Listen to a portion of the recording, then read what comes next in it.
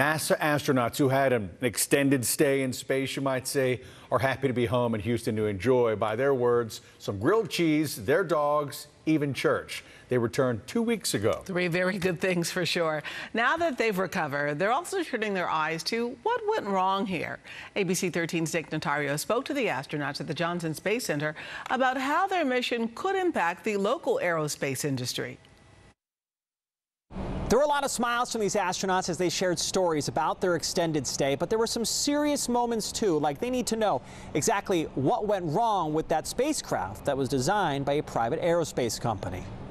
It's again an For the first time, NASA astronauts Suni Williams and Butch Wilmore are opening up after their dramatic splashdown in the Gulf. When you see your your family, you know your spouse, it's like, wow, this is it. And um, boy, I better uh, make sure I remember how to make the bed and do my own laundry. Chores they didn't have to do for a long time. The pair were supposed to take an eight-day test flight to the ISS on Boeing Starliner. Instead, spacecraft issues forced them to stay for nearly 10 months in space.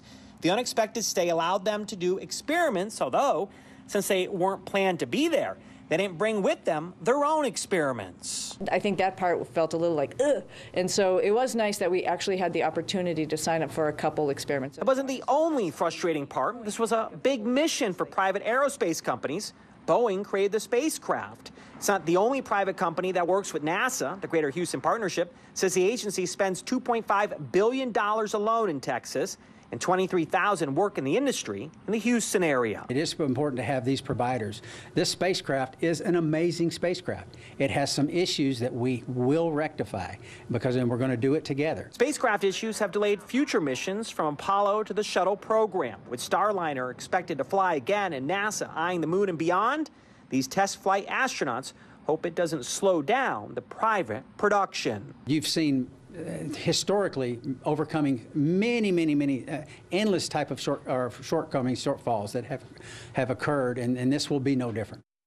It wasn't just Williams and Wilmore that made history. So did that third person that came down in the capsule just a couple weeks ago. Astronaut Nick Hague was the first Space Force Guardian to go up to the ISS, and he says it was an absolute honor to be that person to do so. From the Johnson Space Center, Nick Natario, ABC 13 Eyewitness News.